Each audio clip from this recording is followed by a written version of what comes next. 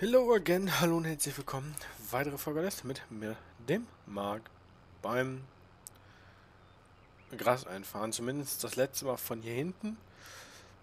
Und dann machen wir am Hof noch die Luzerne und das Gras. Dann ist das auch weg. Und ich hoffe, jetzt läuft das.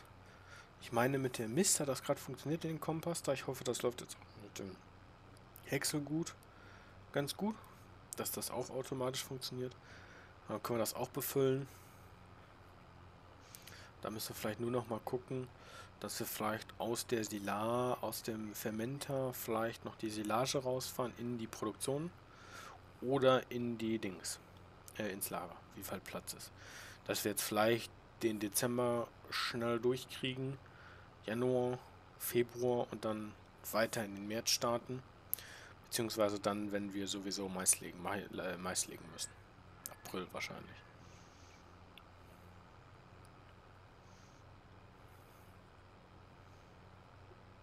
Arbeit beendet. Zeta? Äh, ach, die Raupe. Die Presseure pressen, die Ballen dürfen wir auch nicht vergessen. Das gibt auch nochmal einen guten, guten Geldsegen.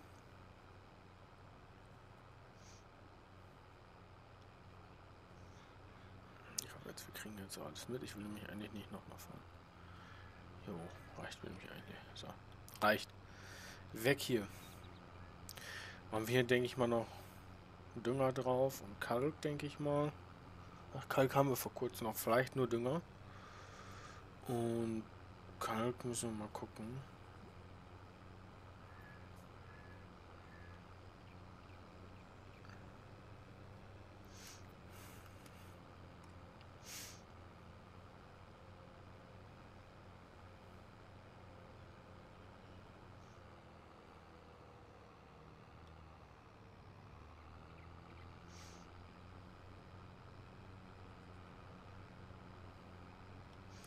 Nur was anderes eben nachgucken. Uh, jetzt hier meine Fahrkünste bei schwierigen Bedingungen. Dienst, also alles wie immer. Okay. Ist ja auch schon bald wieder Pfingsten. Pfingsten? Was Pfingsten? Dachte mein Vater mir vorhin. Äh, ja. Nee, ja, nee. Nächste Woche darauf, die Woche ist auch schon wieder lange Woche. Ist mich Montag noch frei, ist mich Pfingstmontag. Das ist eigentlich ganz schön. Und darauf die Woche ist dann Frohen Leichnam sogar schon. Da ist dann auch wieder ein Tag frei. Und ich habe ein langes Wochenende. weil ich Freitag erst zu Hause bleibe. Dafür arbeite ich morgen. Und dafür arbeite ich nämlich dann morgen. Und dafür bleibe ich dann an dem Tag halt zu Hause. Nach Frohen Leichnam. Habe ich so beschlossen. Wenn alle anderen jetzt Urlaub machen, dann kann ich dann da zu Hause bleiben.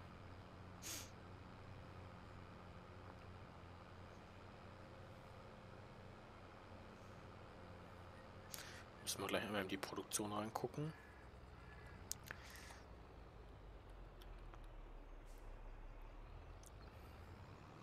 Weil ich finde den Kompostmast immer so ein bisschen schön als Resteverwertung. Auf der nordfrischen Marsch. So wie jetzt das Gras kann da rein, dann ist das weg, das ganze Zeug. So. Auch Gras ist so gut wie voll, da können wir noch ein bisschen was einlagern, denke ich. Diesel ist voll, Luzerne brauchen wir auch nicht so viel, Stroh ist voll, Mist. Na gut, und Hacktex so gut kommt noch. Oh, die kommen jetzt ja gleich sogar zu zweit. Das ist natürlich jetzt wieder semi-professionell. Muss ich mal ganz kurz eben einen stoppen. Dass der eine, dass der eine in Ruhe arbeiten kann. Sonst wird, geht das doch ganz voll in eine Hose, denke ich. Bleiben wir hier ganz kurz stehen. So. Da können wir uns das auch angucken. Aber wenn der nämlich weg ist, dann kann der nämlich dahin. Ist der komplett voll? Ja, der hat nochmal Nachschub geholt. Der war nochmal im Laden. Können eigentlich erst den Piraupe schon mal hier zur... Zack. Hofparkplatz. Drei machen wir jetzt. Weil der Dings braucht noch ein paar Minuten, denke ich. Also, wenn er schon wieder zurückkommt. Der lädt Milch. Schön. Oh, er kommt auch gut voran.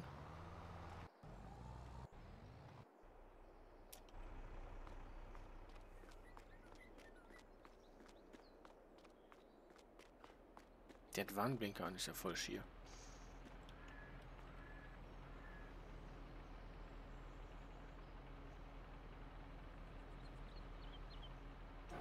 Guck mal, jetzt schiebt, jetzt schiebt er hoch genug, das ist ja perfekt.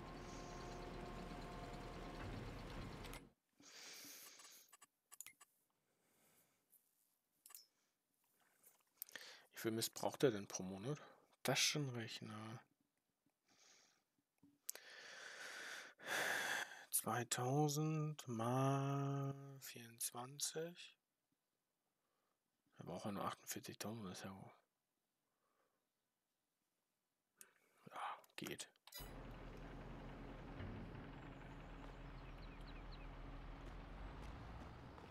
Dann kann der jetzt weiterfahren. Schön.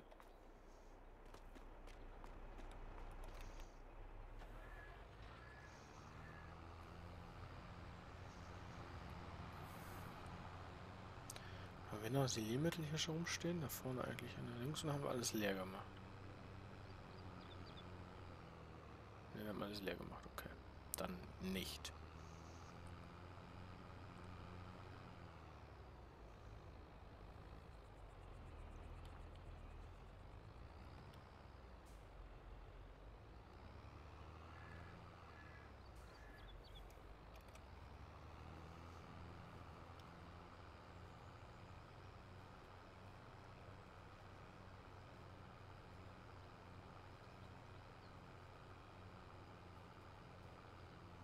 Kommt aber auch gut was runter, können wir uns echt nicht beklagen.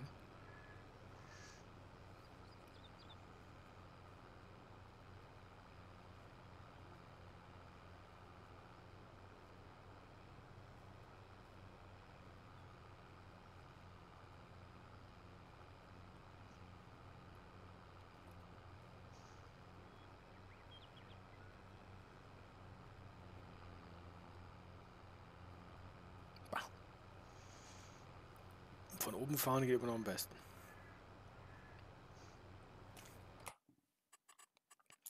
Bevor ich jetzt gleich vom Server runtergehe, will ich gleich noch was anderes machen, bevor wir vielleicht oft, bevor ich Oski noch ein bisschen weiter muss ich mir kurz was gucken. Ähm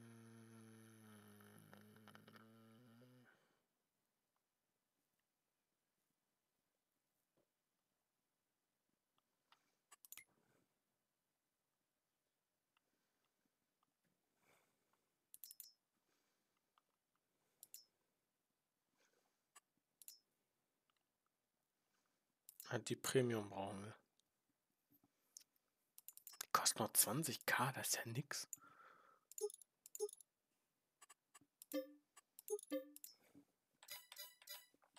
Ich dachte, die wird teurer. 20k. Ist ja voll günstig.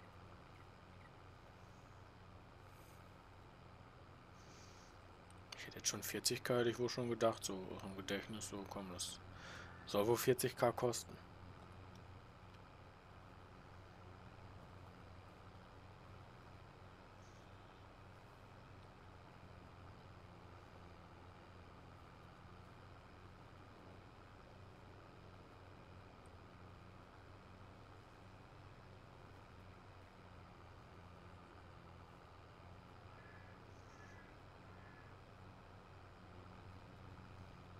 Auch voll die schönen Rundungen gedreht. Klappt natürlich sehr gut.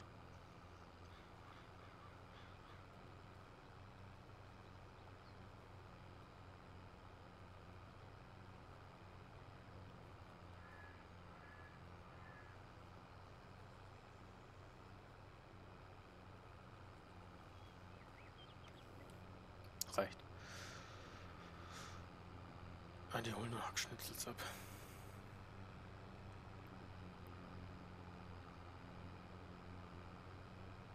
Ja auch beide so gut in Kolonne fahren, muss man ja echt mal lassen.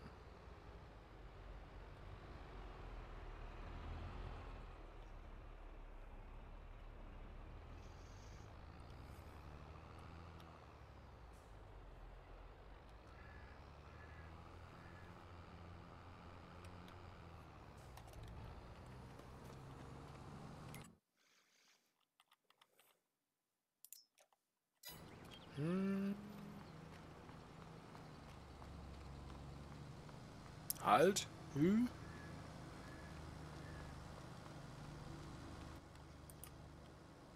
Lass den mal weiterfahren.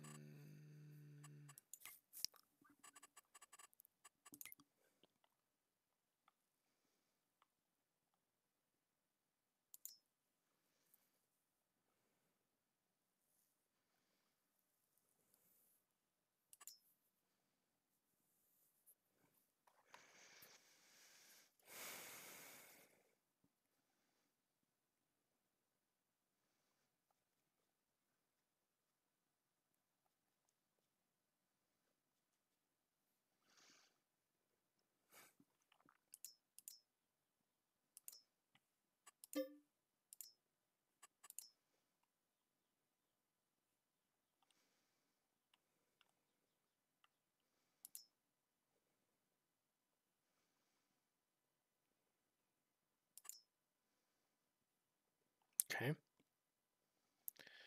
Äh, Fermenter.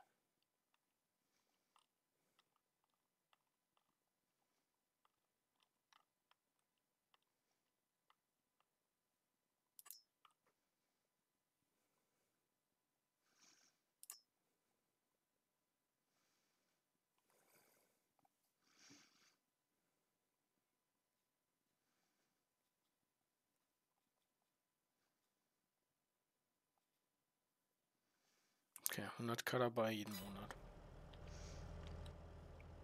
Geht auch noch. Keine Frage.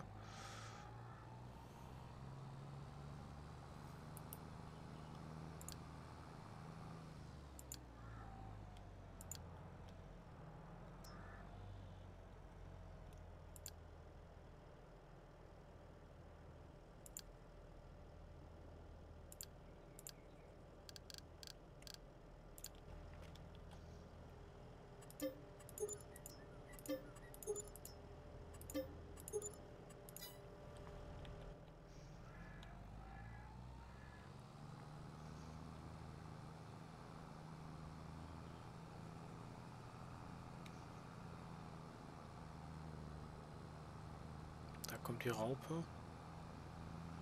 Haben wir genug Zeit, da den abzukippen. Weil dann soll er mich schon mal der Silo da rausfahren und hier reinfahren. Dann ist das schon mal fertig.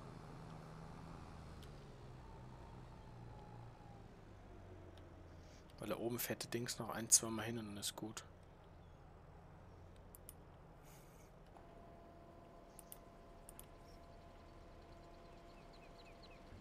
Man gucken, wie viele Hackschnitzel da überhaupt noch drin sind. So viel wird das auch nicht mehr drin sein, glaube ich.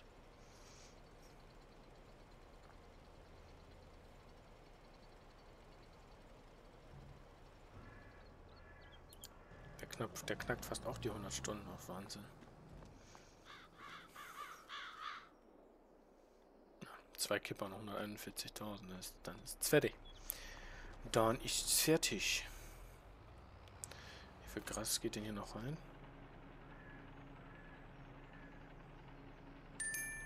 Mehr viel. 13k.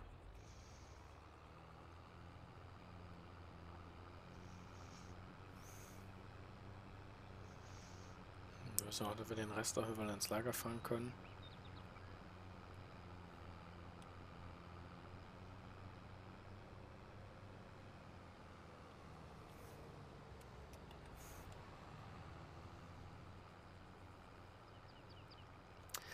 Das ist nämlich auffällig. Ja, kurze Reminder. Ähm, ich denke, dass wir, dass ich offscreen noch ein, zwei Stunden weitermachen werde.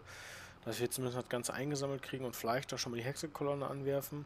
Vielleicht, wenn es ganz gut läuft, zur nächsten Aufnahme, dass wir vielleicht irgendwie schon Februar sind oder so. Mal gucken. Im Winter ist ja sowieso nicht so viel zu tun. Ähm, dass wir da dann wieder durchstarten. Ähm, ich dann jetzt ein bisschen den Winter überspiele, überspringe mit allem, was so kommt. Ähm, muss mal gucken, wie sich das mit den Tieren verhält. Vielleicht verkaufen wir noch welche oder nicht. Vielleicht müssen, muss ich mal gucken, ob sich ein Tiertransporter lohnt. Zum Schlachter wäre das eigentlich sowieso schon fast angebracht, hätte ich gesagt. Äh, da müssen wir mal gucken, ob sich das rentiert, ob sich das lohnt, was, wie wir das umsetzen. Das schauen wir uns aber an. Falls ich den dann jetzt auch während der Zeit brauche, wo ich spule, dann werde ich mir den wahrscheinlich einfach kaufen, dann ist es fertig. Weil Überbelegung im Stall ist nicht so schön. Und solange wir den Fleischer noch nicht haben, oder die Schlachter eher gesagt, äh, nützt das mir auch nichts. Mal gucken, der ist jetzt auch relativ teuer. Ich glaube kaum, dass er sich lohnt. Wenn die Engelsrinder mal richtig durchgekommen sind, der Stall voll ist, dann könnte ich mir das vorstellen, dass sich das auf jeden Fall lohnt. Sonst werden wir wahrscheinlich erstmal abwarten, was so passiert damit. Ich bedanke mich ganz herzlich fürs Zuschauen. Wir hören uns morgen wieder. Weitere Folge LS. Bis dann, danke. Tschüss.